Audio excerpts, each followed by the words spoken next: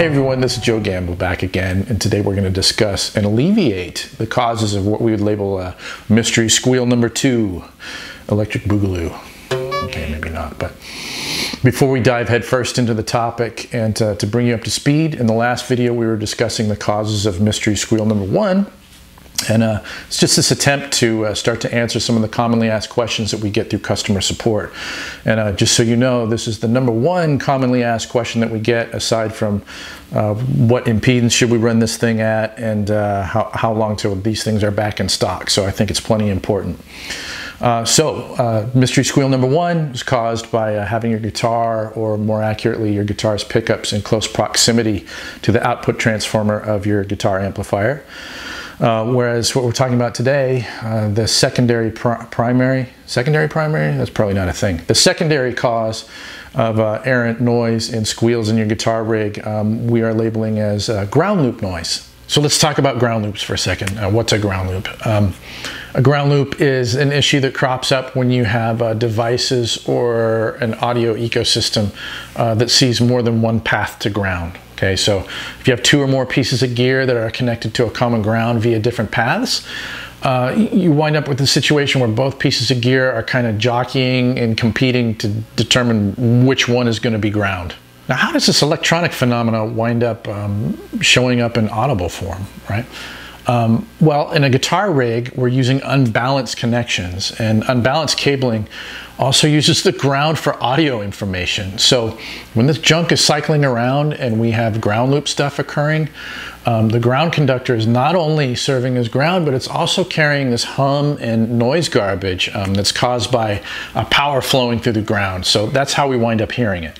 So this loop manifests um, in audible form. Uh, there's like a low frequency hum sometimes, like a 60 cycle hum. uh, and it also um, shows up sometimes as like a high pitched squeal when you connect your effects pedals to your rig. Um, and we'll discuss that more in a moment. So the most infamous example of a ground loop generating um, situation in the guitar world would be running a stereo amp rig or, or a multi-amp rig where you have two amplifiers um, that are connected to the same non-isolated power source and thus trying to connect to earth via the same manner.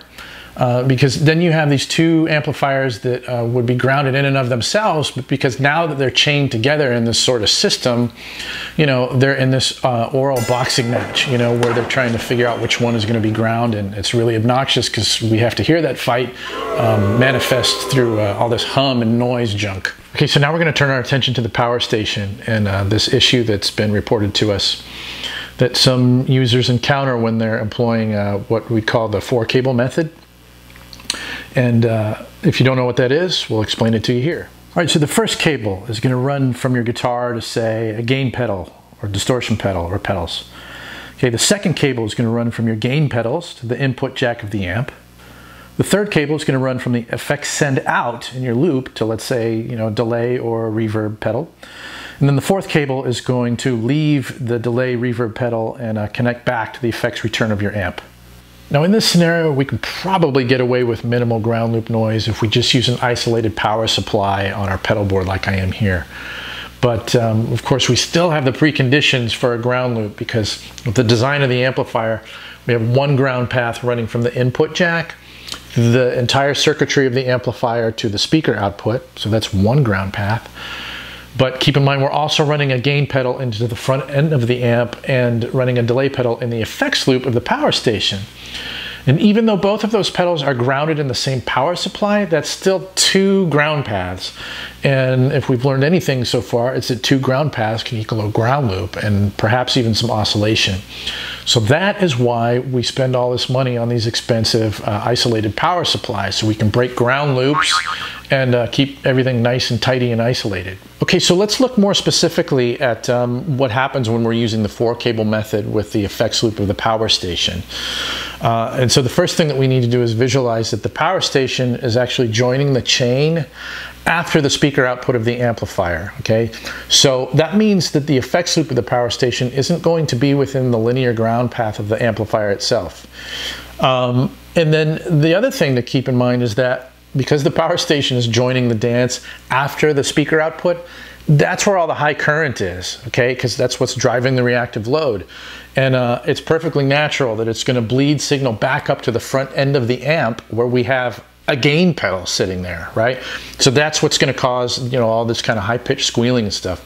And uh, it's worth mentioning, because we talked about it in the last video, that um, anytime you use higher gain in your rig, you're gonna make it a lot more susceptible to these sorts of um, unfortunate and unruly utterances. All right, so another thing about ground loop noise is uh, you can think you're doing everything right. You know, you can be running your isolated power supply, you can be using high quality cables, and still wind up with a situation where maybe you have two pedals that are too close together, and uh, you know, you wind up with um, the cables from each pedal like touching. Or um, you know, you're running a Y cable out of one pedal and splitting it into another, into two others. And uh, you know you get this situation where you have the ground of the pedal in front of the amp touching the ground of the pedal in the effects loop and you'll wind up with some pretty wild sounds like this Okay, so now I'm down here on the floor with a slightly different rig, okay? Uh, we're using a Mesa Mark IV because I wanted to demonstrate what happens when you use a gainier amplifier than what I was using previously. That tends to be where this issue crops up more often. So uh, let's describe the rig. Okay, so we're going the guitar, okay, into the tube screamer. And then the tube screamer, we're going into the front end of the Mark IV, okay? Then around back here, we're coming out of the effects send of the power station, okay, into the slate input, and then out of the slate's output, we're coming back around to the effects return of the power station. Okay, so we're purposefully inducing this, okay? So it's not going to hurt your gear or ruin anything. It's just gonna be obnoxious, obviously. Uh, but we need to be armed with the knowledge of what to do when this happens so we can eliminate it, right? So what we're gonna demonstrate here is what happens when the ground of the pedal in front of the amp touches the ground of the pedal in the effects loop, okay? And it sounds like this. Just like we said it would. All right, so before we go any further with solutions, I want to make the point that uh, not every piece of gear that you use is going to produce the same exact frequency or uh, high-pitched squeal oscillation sound. Um, so what I did here was I swapped out the slate for uh, a Boss DD500 and uh, it gives us this sound here.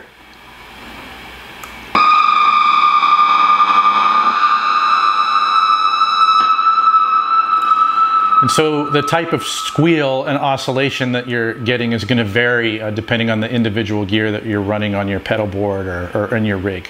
Okay, so how do we go about solving these things? Okay, so for regular 60 cycle hum, you know, that kind of ground loop hum, uh, we can sometimes get rid of it by simply lifting the ground switch on the back of the power station. Uh, another thing that we're going to want to do is run all of our pedals off of an isolated power supply like we're doing in this example. But for um, this really sort of high-pitched squealing oscillation noise that we're getting uh, in these high gain rigs, um, that's not really going to cut it. So what we're going to need to do is we're going to uh, insert um, what's called an isolation transformer into the chain. And uh, that's going to go between the gain pedal and the input jack of the amp. And that is what is going to break the ground loop once and for all. Okay, so here's an isolation transformer box. This one's by Pyle. It's called a Hum Destroyer. Um, Behringer makes a version. I heard Jensen does, maybe Radial. Um, they're out there, and they're all reasonably priced. Okay, so let's listen one more time to our glorious oscillation sound. Sounds like this. Okay. And now what we're going to do is we're going to plug uh, our gain pedal into the isolation transformer, into the front input jack of the amplifier. Same test, and voila, different result. Fixed. So I know that's an awful lot of talking to arrive at such a simple fix, but uh, we figured it would be more helpful to give you an idea what was actually happening here uh, when you encountered this stuff so um, it wasn't such a mystery anymore. And so a final word, we can anticipate that some people might wonder uh, why the power station wasn't designed with something like this in line uh, from the jump.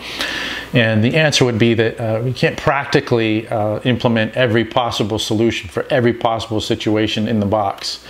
Um, especially when we can see that uh, the power station itself isn't what's causing the issue. So we figured we'd offer you a uh, cheap and easy fix um, that focuses directly on the problem at hand.